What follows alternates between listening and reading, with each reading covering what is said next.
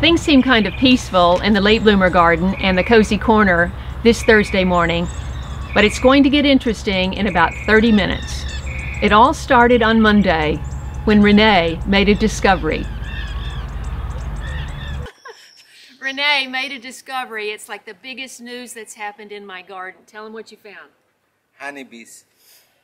Yeah, honeybees are nesting under my garden shed. Yes. on the underneath. So it's going to be a problem. No, no, because they are uh, away from the people and they don't disturb anybody. Now, you know how much I love bees, and I love bees pollinating my garden, and so much is still blooming and even more coming on. But I reached out to Jill Green, whose husband keeps bees in Phoenix, and she said you have to act fast. And the reason is the queen lays over 2,000 eggs a day. and they hatch in 21 days, and Renee missed a week over here. So they could have been doing this for at least 14 days, maybe longer. You can't even see anything from my side of the garden. You only notice it from Zachary's uh, yard. My name is Eugene and I run a company called Queen Bee Removal. We do a live bee removal from, in this case, underneath the shed and we relocate the bees and save them without chemicals. Bees, especially at this time after the rains, all the flowers are blooming so they're splitting up, they're looking for new locations and they just found a new home underneath the shed. So, what are we going to have to do to get that out? Because they're not in the bench. They're not in the bench, they're underneath the bench. So we would need to remove the bench and lift the floorboards because they're attaching to the bottom of that. Okay. And then how do we control the bees while you do that? Uh, we're going to use smoke to calm them down. Tell me the process. Are you just removing the queen? We're removing the bees, the queen, and the honeycomb that they have built. We're going to clean out the entire area as well. How do the bees stay with you while you do that process is what I'm wondering. They stay with the queen. Ah. So that's their home Okay. from now on. Okay. And they're not going anywhere until you physically remove them. The queen. Okay. Even though they're flying in and out. They're flying in and out to collect pollen, food, Right, right. bringing stuff back into the home. And when they sense something's going on, will they all come to the hive? Depends on how aggressive they are. Ah. Okay. All right. So we need to get started. And you're going to tear my shed apart. You will. yes, Serge. Hi, Serge. Where are you from? I am from Ukraine, but Are you really? I Yeah. I was born there. Came here when I was like four years old. Wow. So people You need to cut it like this. Okay. That's fine. He is about to cut a hole in the floor because the bees are making a hive underneath there. And it's interesting because there's already a cut piece there. He thinks there might have been an, an existing hive. I smell smoke.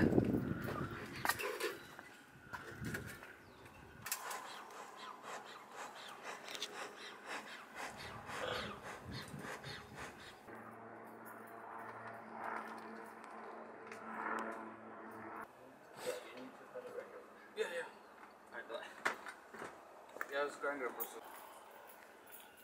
the rest right now.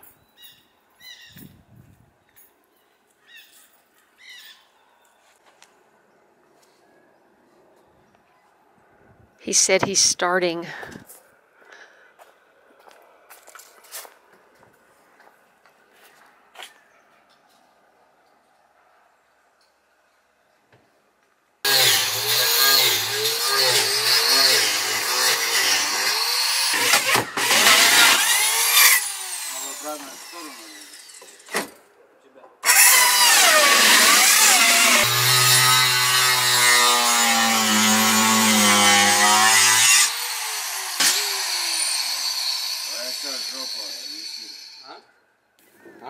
Very smoky. It's good at smoking them out as well.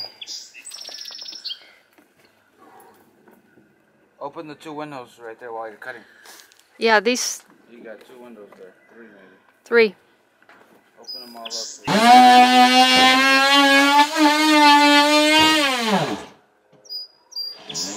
please.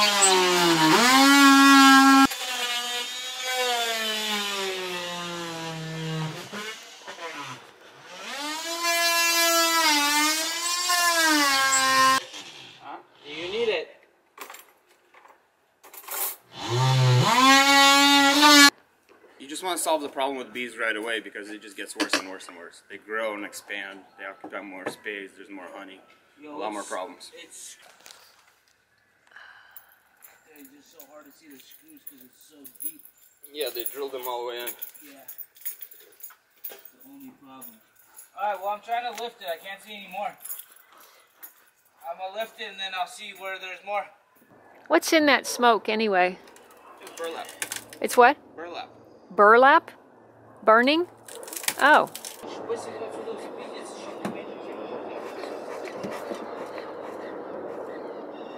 That's what I didn't want. Oh my god, you're kidding. That happened underneath? Okay, but I can't. Back, back, No. back, come on. I got, we gotta do this quick, dude. Yeah.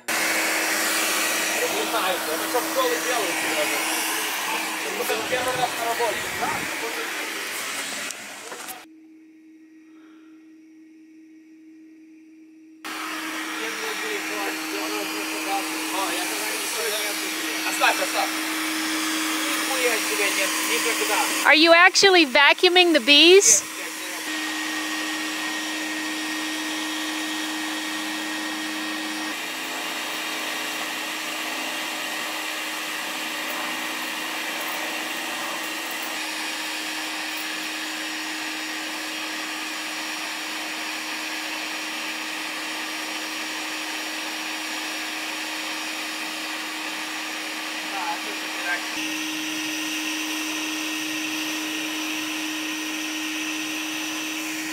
He found an old piece of comb in there, so obviously there was a an old hive and that's why they found it and created a new one. This is a piece of the current comb hive and that is nectar which the bees had not had a chance to convert to honey. Even though we leave the vacuum on when we take a break and give them time to collect, uh, they'll go straight for the vacuum because they're curious. It smells like honey. Even So though it's it'll- noisy. Yeah, it'll still suck up some of them. Okay. So it's better than just leaving it off. Did you find the queen? Yeah, yeah. And you saw the queen? Yep. And the queen went into the vacuum? Yep, I got the queen. Okay. I got the queen, captured her. And so they all go in that one thing. Yeah, it's it's like um, it's basically a bucket um, with mesh on it that we collect them into, Oh, I see. and then the top of it comes off, so it's breathable for them, oh, I and see. they survive when we tran- transport them to Antelope Valley.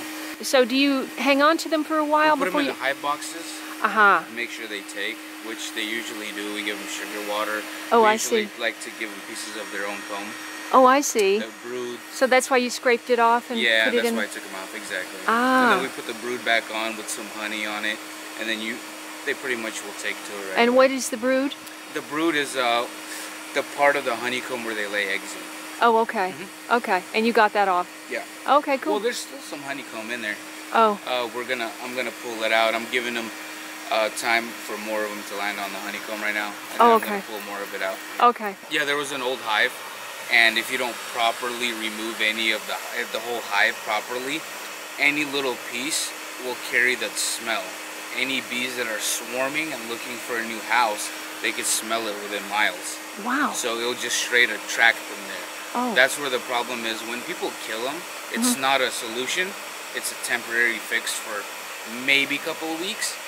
But you leave, you unless you take out all the honeycomb, it will it will not solve the problem. You have to physically pull out the honeycomb, clean everything, and the wood, the top wood, you're gonna replace because um, it carries a smell when they attached it. ah. Oh, so I need new wood. Yeah, yeah, you would Ah. put definitely. I would recommend putting new wood on the bottom of it. And so you probably collect a lot of bees from several jobs before you make a trip up to Antelope Valley. It just depends because if it's taking, if it's one person is doing a job and it's taking them eight hours, I'm not gonna wait eight hours. I I rather get the bees up there Oh, I see. so we could relocate them.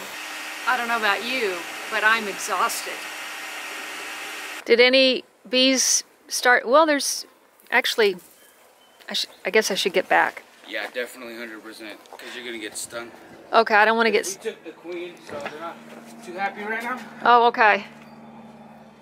Uh, so the bees are going to be gathering on the outside right here Uh huh. for the next couple of days, and they should be gone after that. Okay. Ooh, are they getting? I, I should probably. just walk away slowly. You'll be fine. Oh, okay. Just around this area. They're active because they can't get in right now. Right, right, exactly. So the bees, they fly a radius of three to five miles to pollinate, to collect pollen, nectar, water, and then they bring it back into the hive and they store it inside. So they eh. grow it really fast. And you said mine, my hive was pretty. Yeah, you almost had a box, almost the entire box. There was 10 pieces of honeycomb. So they don't really need a box. They can. They make their own structure. They need an enclosed space. And you'll have these relocated how soon? They're gonna go out today. Oh wow. Yeah, someone's gonna pick them up. Oh take wow. 'em. Oh wow. Thank you. Great job. Thanks so much for watching. Please like the video and share with your friends and subscribe to my website for a free ebook 10 steps to a great first garden. Thanks for your support and I'll see you in the next video. And if you enjoyed this video, why not try these?